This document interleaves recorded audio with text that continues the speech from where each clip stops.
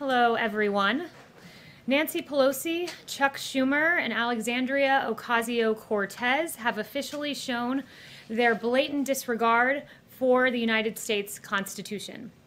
Apparently, it is now a high crime and misdemeanor worthy of impeachment for a lawfully elected President of the United States to exercise his constitutional duty.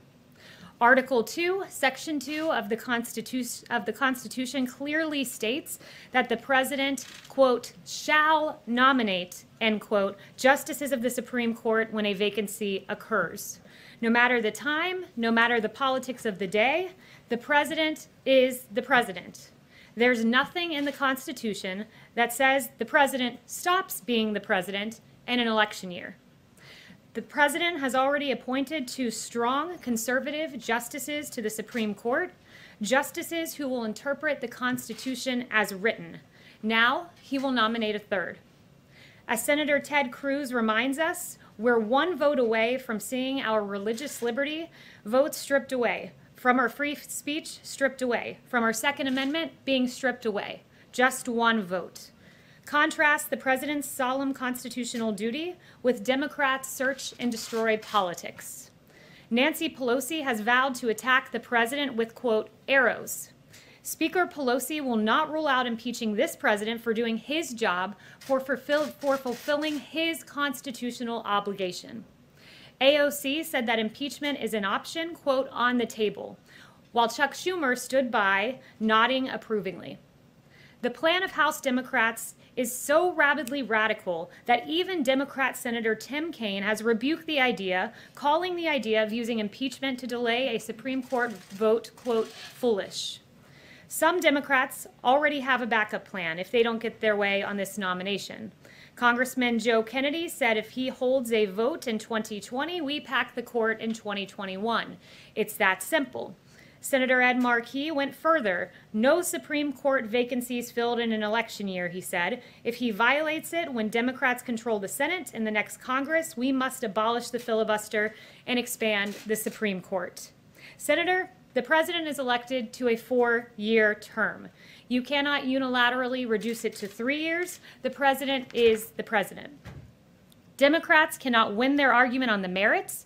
They cannot win on precedent, so they must search and destroy. Don Lemon said the quiet, the quiet part out loud last night. He said this We're going to have to blow up the entire system if the president does his job as outlined in the Constitution.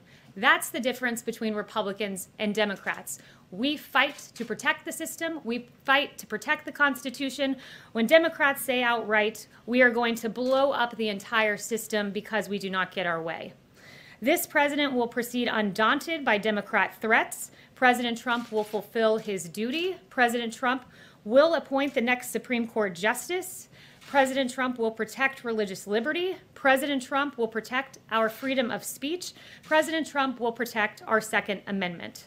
Under this president, our rights will be upheld, our Constitution safeguarded, and this president will fill that seat. And with that, I'll take questions. Jim. Uh, Kayleigh, as you know, uh, the country has hit 200,000 deaths from the coronavirus. What do you say to Americans who are outraged over this and blame this administration for so many lives lost in this country? Well, as you've heard several doctors in the task, for, task force note from this podium, uh, we were looking at the prospect of 2 million people potentially perishing from the coronavirus in this country. Uh, we grieve when an, even one life is lost, but the fact uh, that we have no, the fact that, that we have come nowhere near that number is a testament to this president, president taking immediate action, uh, to shutting down travel from China uh, when the other party, Democrats, were saying that was xenophobic, uh, for shutting down travel for Europe, for developing uh, landmark therapeutics that are working like remdesivir. Um, and when you look at the fact that excess mortality, Europe has experienced a 28% higher excess mortality rate than the United States, it's a testament to the hard work done by the task force and this president. And if you don't mind, if I could follow up, last night the president said at one of his rallies about the virus, and I think he was talking about younger Americans, he said it affects virtually nobody. Uh, by the way, open your schools, everybody open your schools. Uh, but he said to Bob Woodward, it's not just old, it's not just older people, it's young people too. At 200,000 deaths, shouldn't the president be telling people the truth about this virus at his rallies? The president is telling people the truth, and you're right, Jim, that he No, was talking He's- about. He's saying that it affects virtually nobody and that it doesn't affect young people. He's not telling the truth. Jim, but you're again taking the president out of context. I have his full quote here, and you're right that he was referring to young people. He said this. Well, no, I'm um, not taking it out of context. If I said he was talking about younger people, then I'm not taking it out of context. You're, you are taking it out of context because you're making an assertion that he's not giving critical information when in fact he is. And I will underscore exactly what he said. And he said this, you know, in some states, thousands of people, um, and they've had nobody young below the age of 18, like nobody. They have a strong immune system. That is factually true. You can go to the American Academy of Pediatrics website, uh, the Children's Hospital Association, and they list out you know, a number of states that have had zero pediatric deaths. the coronavirus and then spread it to older people. And We've known this since the very beginning. And for the President of the United States at 200,000 deaths, to go out to his rallies and say something like it, it, it it virtually affects nobody, and that in some states it's not affecting young people, that is glossing over the fact and, and really diminishing the fact that young people can catch this virus and spread it to older people. you- Younger people can also be sickened and killed by this virus. Jim, do you have the quote there with you? I have the, I have the quote here, yes. Yes, it is exactly as I just read it to you, that in several states, uh, they have had zero pediatric deaths. I have the entire list here, Arkansas, Delaware, District of Columbia, Iowa, I, Hi, uh, Hawaii, Idaho, Kansas, and the list goes on. And as you may not know, Jim, uh, this, the COVID has a 0.01% mortality rate uh, for people uh, under the age of 18. So it does, it is not a disease that affects young people in the same way as older people, which is the exact point the president it- was making last night. and spread it to Yes. Uh, One person, Kayleigh, who does believe that the president has the constitutional authority to make a nomination for the Supreme Court and that the Senate has the constitutional obligation to provide advice and consent is Utah Senator Mitt Romney. Uh, In the course of the last three and a half years, the president and Romney have often found themselves at odd, odds, have said unkind, if not intemperate things about each other. How is the president feeling about Mitt Romney today? Haven't spoken to him about uh, Senator Romney, but Senator Romney is recognizing um, what any of us who take a clear-eyed look at, pres- at precedent recognize that the precedent is on our side here. Uh, 29 times has there been an appointment during an election year, 29 times. And when you break down those numbers, 19 times when those nominations were made, the Senate and the president were of the same party. 17 of those 19 times, uh, that nominee went on to be confirmed. Uh, the 10 times when it was a difference in party between Republicans and Democrats in the Senate and the presidency, only two went on to be confirmed. So precedent is on our side, uh, but Democrats are trying to have it both ways here. And I would cite Dan McLaughlin at National Review, who said this, and he's exactly right. Choosing not to fill a vacancy would be a historically unprecedented act of unilateral disarmament. So let me just follow up on that if I could. So timing now is the next issue. The president will have 37 or 38 days from the time he makes the announcement to the last time that he could have a vote before the election. Past years, John Paul Stevens was nominated and confirmed in 19 days, Chief Justice John Roberts, 24, uh, Justice uh, Sandra Day O'Connor in 33.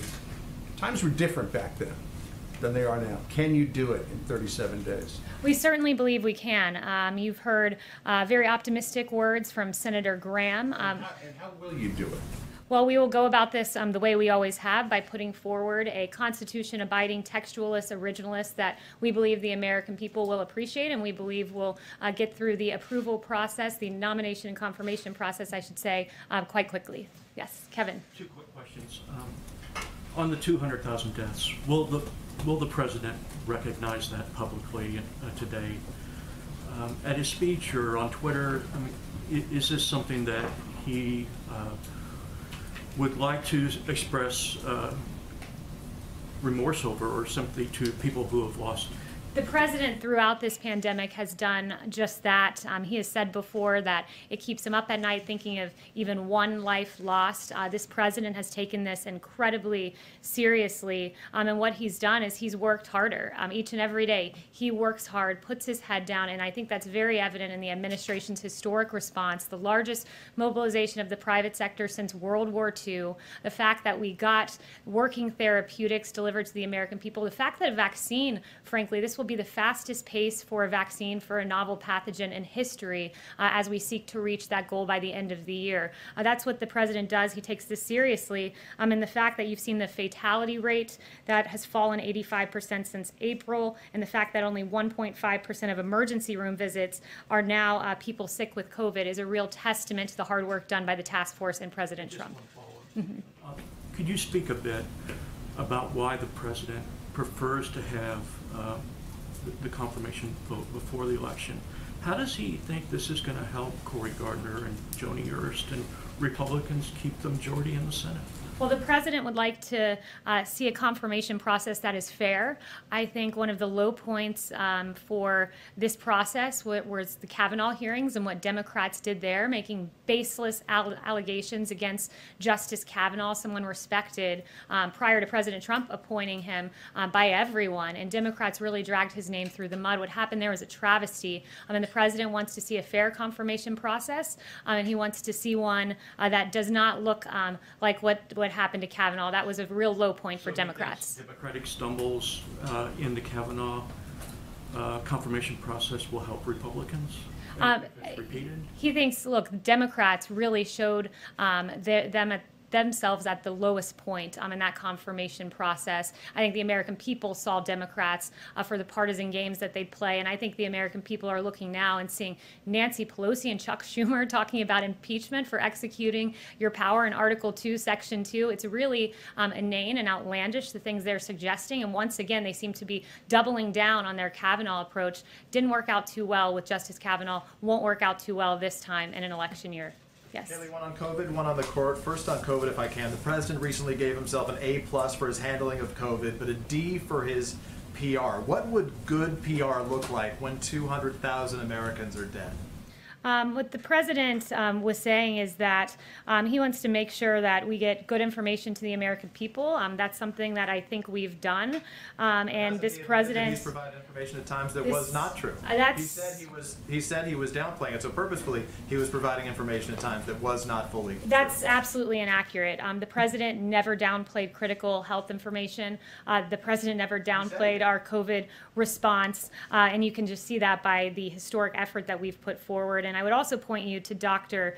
Fauci, uh, who said, "I don't recall anything different in our discussions with the president uh, that he said things quite similarly in public." And he was asked directly by none other than John Roberts, "Did you ever get the sense that he was or wasn't playing this down?" No, no, I didn't, and that's an assertion echoed by the vice president. Our response, uh, when you look, that 100 million tests that we've exceeded, the vaccine on record pace, the therapeutics, the fact that we've brought fatality down by 85%. This was a novel pathogen that came in for which there were no tests and there were no identified therapeutics, but they were identified very quickly. And also with regard to the vaccine, when you look at the notion that we are manufacturing this at commercial levels, uh, which I was told by uh, by Dr. Slaoui that that normally takes years to do, um, and we're already producing. Um, the goal is 100 million doses by the end of the year. That's a testament to this president and his response. If none of these vaccines are effective, what is Plan B for the White House?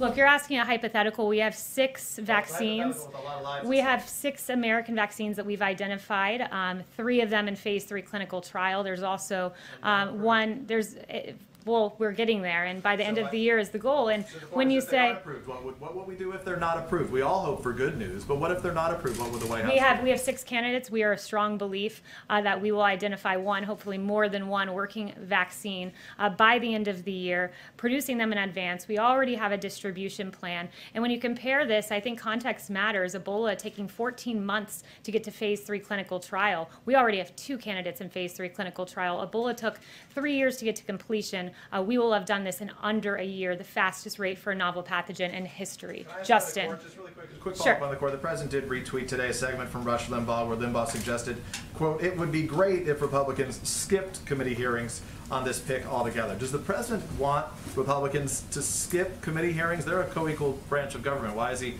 directing them to do anything?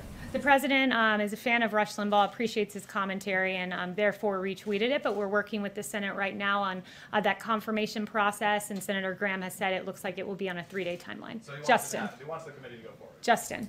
Thanks, Kelly. Um, one on SCOTUS and then one on the stimulus. Um, can you confirm that the president's planning to meet with Judge Lagoa in uh, Florida while, while he's down there this week, and he said yesterday that he had spoken to some candidates beforehand. I know the uh, Judge Barrett was in here yesterday, but I was wondering if you could talk about any of the others that he may have already had contact with.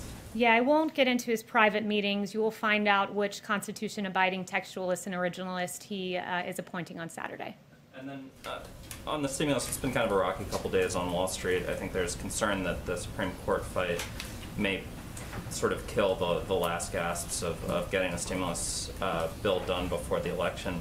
Does the White House agree that that's probably not going to happen until the election, if at all? Or if you are still hopeful, you know, the president said when the time is right, uh, he'd be willing to reach out to Speaker Pelosi. It, it seems like we're getting down into the last legislative days before the election.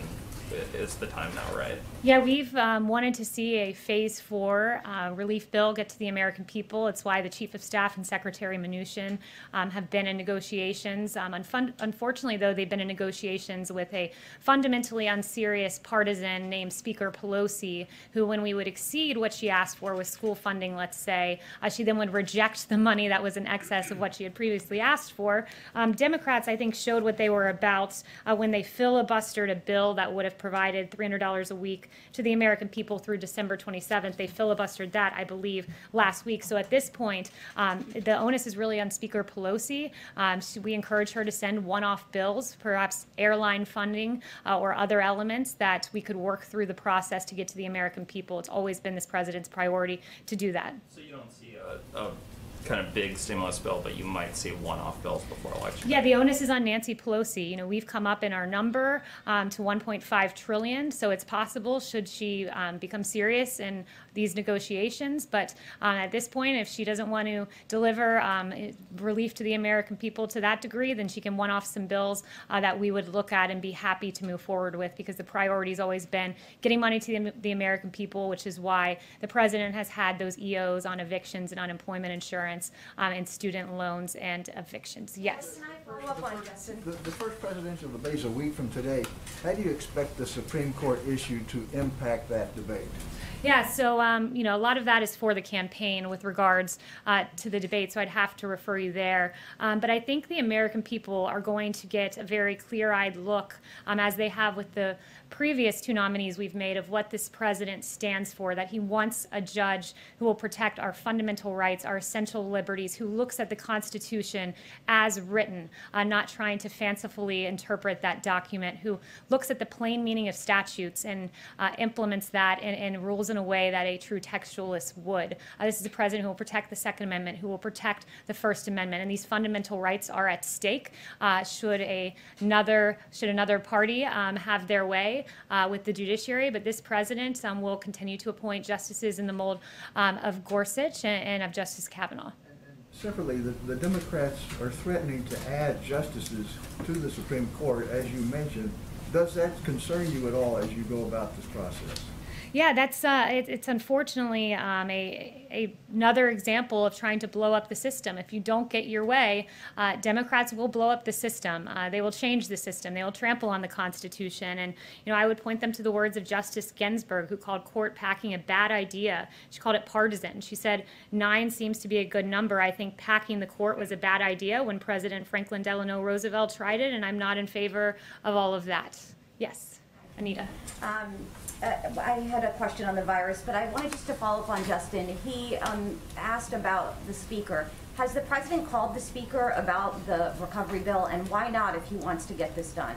Has he, is he calling other lawmakers as well? I'm not aware of um, any conversation that they've had. Uh, there have been communications through the Chief of Staff, through the Secretary of Treasury, but until um, Speaker Pelosi becomes serious in her negotiating, instead of uh, she's engaging in political drama, uh, we're really at a stalemate. So it's really the ball is in her court to um, become serious in these But it would negotiations.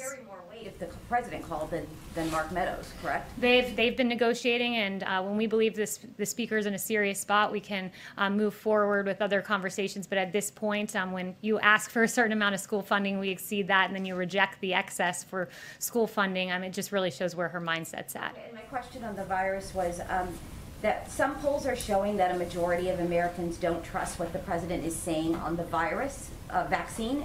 And I wondered, you keep, you all keep talking about the vaccine possibly coming out. how are you going to get people to believe that the vaccine is safe and that people should go get it when it does come out? What are you, what is the process gonna be looking like? Yeah, so I think um, first I, I want to point out that several um, of the doctors have been on the record um, and have said that this vaccine is going through the same rigorous process it should. Um, as Dr. Hannes said, I've repeatedly said that all FDA decisions have been and will continue to be based solely on good science and data. Um, as Dr. Fauci said, certainly there are no corners being cut here, uh, and several others like Secretary Azar have been on the record on this. So um, the members of the task force have all said this is going through the rigorous FDA process and it will be a good, safe, and effective vaccine. Oh, yes. Just following up to Anita's question on the vaccine, how soon would the president feel comfortable taking a vaccine himself? And would he support a non-American vaccine, perhaps even from China or Russia? So, um, first, I would say this that the president has been on the record saying, I'm happy to be uh, the first person to take the vaccine or the last person, whatever is best for the American people. Um, he believes it'll be a safe and effective vaccine and one he would certainly be open to taking.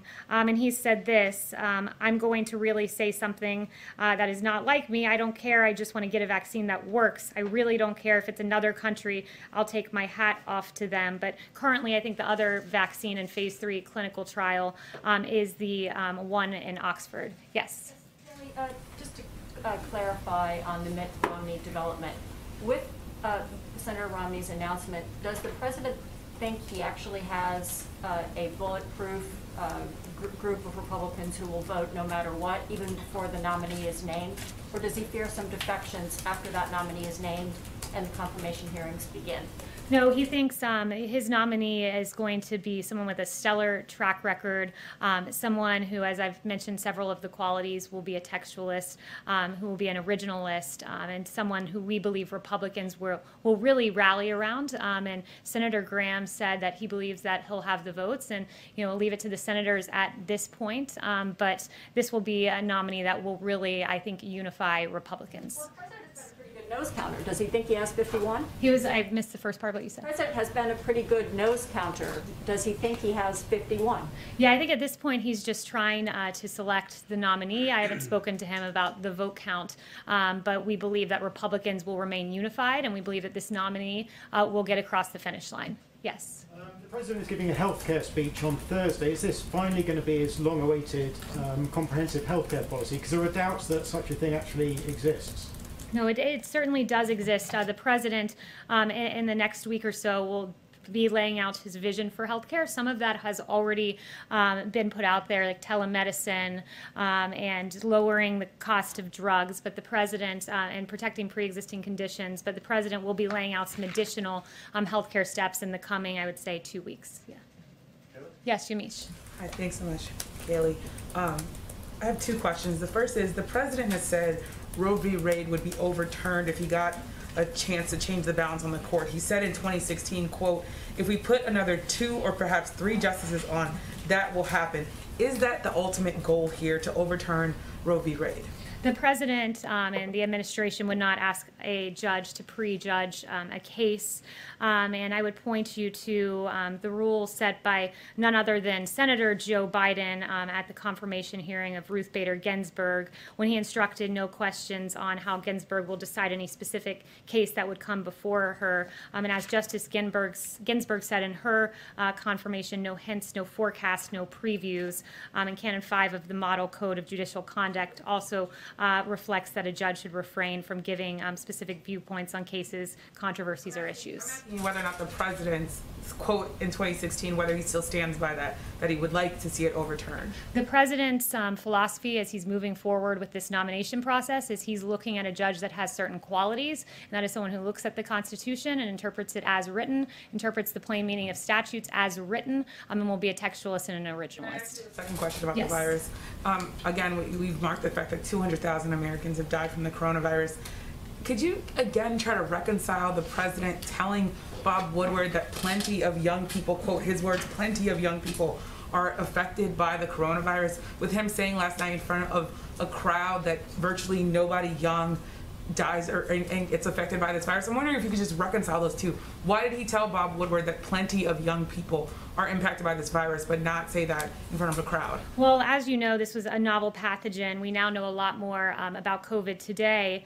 Um, and the president actually said that in a speech last night, right before um, the comments he made. He said, We now know a lot more about the virus, and we know that elderly people, particularly those with comorbidities, are affected by it. And we know that young people um, are by and large, um, and in some states, um, there's been no young people that have succumbed to this disease. And I've listed off a few of the states for you. And we know that a very, very um, small percentage of those under 18 um, have actually perished because, perished because of COVID. Um, and it was a novel pathogen. Now we know a lot more about it, who it affects, who our most vulnerable are, which is why we've surged testing to communities that are vulnerable and will continue to make sure that our elderly, those with comorbidities, are protected. Yes. Downplay it and not, con- not continuing to try to like not have panic. He told Bob Woodward that he wanted to downplay it and play it down to not cause panic. He's, you don't think he's doing that still? The president has never downplayed critical health information. Um, Dr. Fauci, as I noted to you, um, said point blank, no, he uh, he didn't, and that's an assertion of Vice Pre- the Vice President Pence, who led the task force, um, made as well. Yes. Uh, Thanks, Kayleigh. Um, The administration has filed an appeal to the Supreme Court on apportionment, um, trying to make sure that people in the country illegally are not counted when congressional seats are handed out. Sorry, a little muffled. Um, Texas is one of the states that would lose a seat uh, if those people are not counted.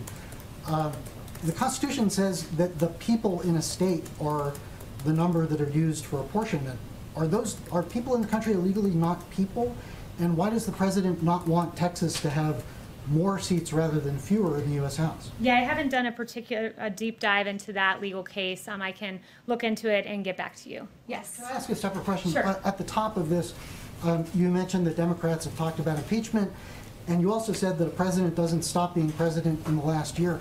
Is there any, not, not that they're actually going through with impeachment at the moment, but is there anything to prevent an impeachment in the final months of a presidency?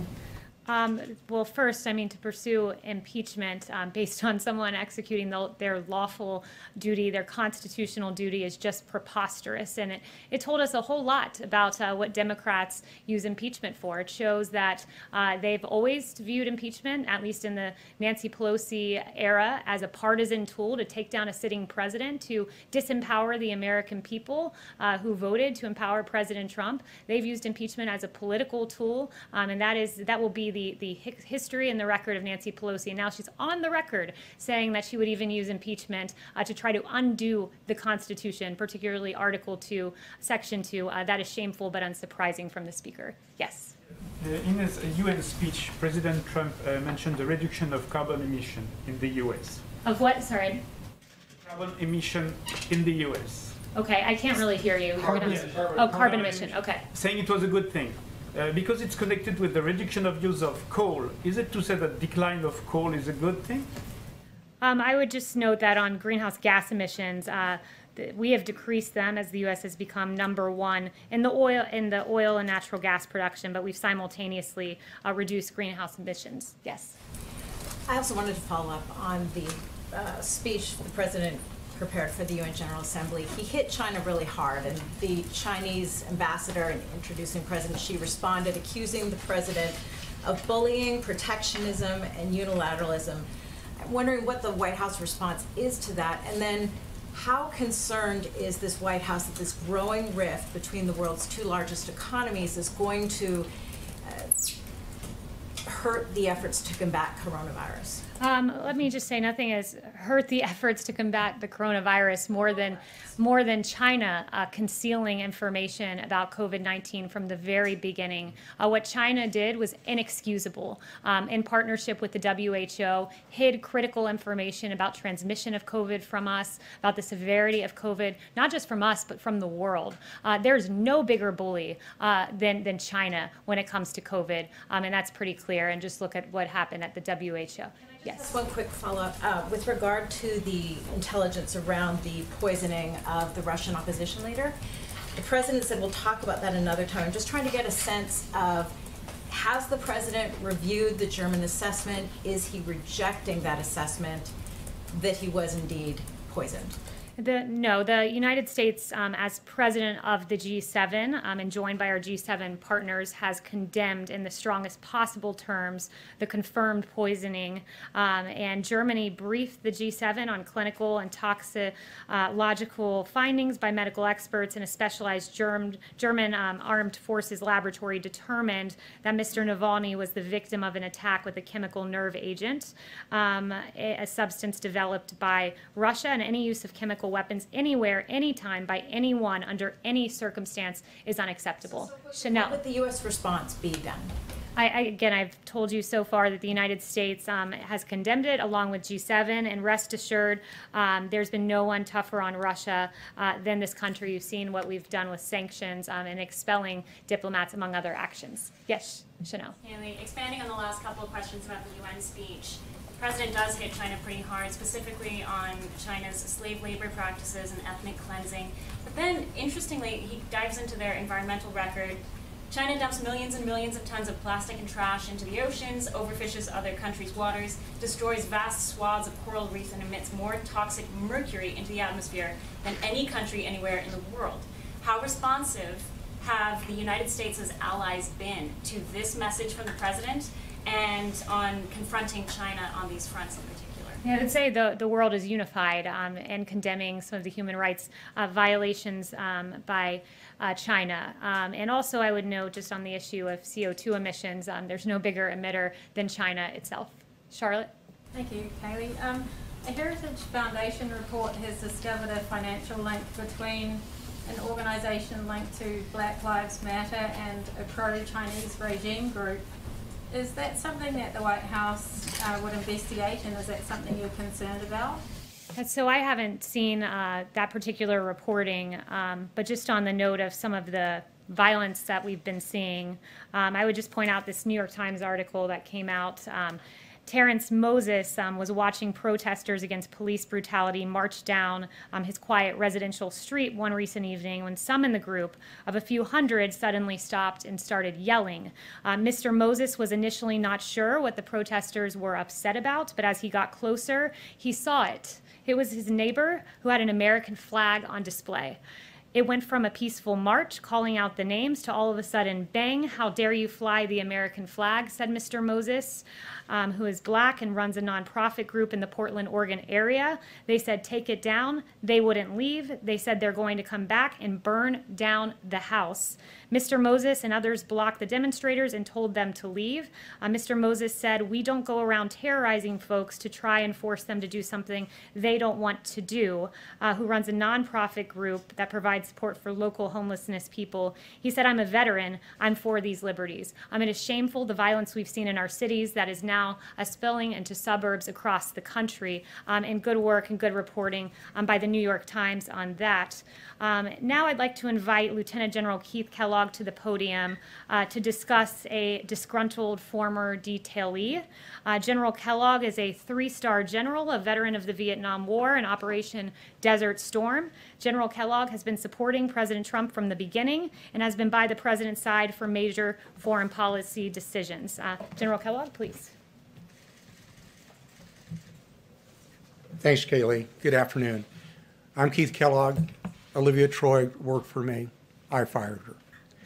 The reason I fired her was her performance had started to drop after six months working on the task force as a backbencher. She was responsible for coordinating meetings, bringing people together, and when the performance level dropped off, I went to the Vice President of the United States and recommended she leave. I'm the one that escorted her off the compound. What she has said, I have never heard. That's never happened.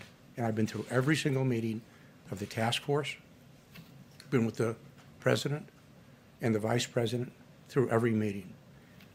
What bothers me about what Olivia said is by insinuation, the disparagement of the task force, the vice president, and the president of the United States.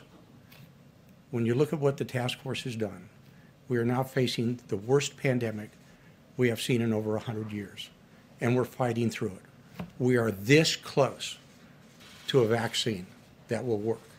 We are finally fighting through it, and we're developing some opportunities to make sure the American people are protected as we go forward. That when we've had the doctors that are out there, when the comments she has made, when you looked at the Dr. Fauci's, Dr. Birx, and Redfield, Stephen Hahn, Dr. Gerard, all of these doctors who work exceptionally hard for the American people. The president has made some critical decisions all the way along the line, tough decisions. He made a decision on the China travel ban when we had less than a dozen known cases here in the United States.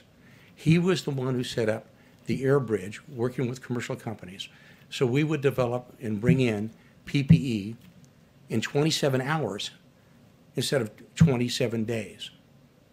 He's the one who went to companies like 3M so we could ra- more rapidly manufacture the N95 mask going forward. He's the one who drove all of those efforts. And I heard the comments made about the people we have lost. Do not think for a minute that that has not bothered us. It does. Because we know on the task force, several of those people, scores of those people, died without relatives because they couldn't get in because of COVID. We know that. Scores of them died on ventilators when they're under sedation, sedation because they didn't have an opportunity to see their loved ones. That bothers us every single day.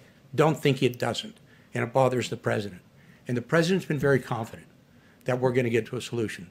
You want a president, you want a leader that displays confidence that we have something going forward that we're going to win and beat this virus. And that's what he's done all the way along the line.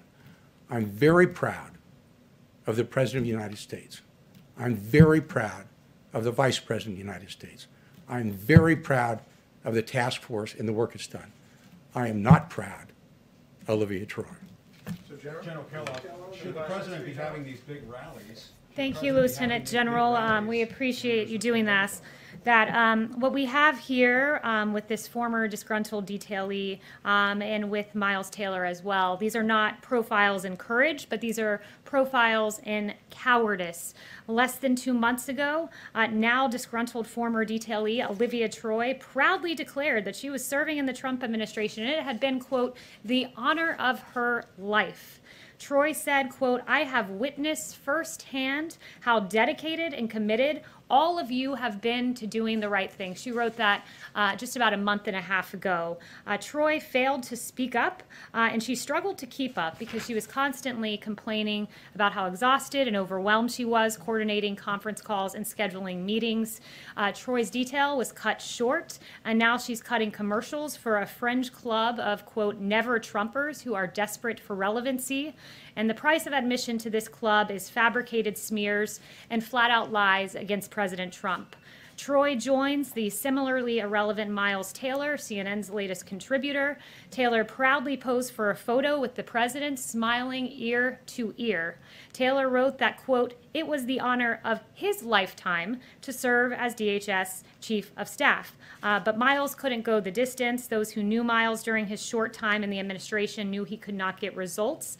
After he left, DHS actually got the results uh, in securing the border, building the border wall, and more. Uh, desperate to please his new Silicon Valley friends, Miles made up lies against President Trump to fit in. He can now rest easy at Google, having earned his anti Trump credentials and the approval of his big tech peers. Uh, neither of these individuals knew the president, but they are certainly uh, try to profit, trying to profit off of their, off of their time here in the White House. Uh, flat out lies, and thank you, General Kellogg, for setting the record straight. Thank you. Can we ask some follow-up questions, Kayleigh, as long as we have someone from the task force here?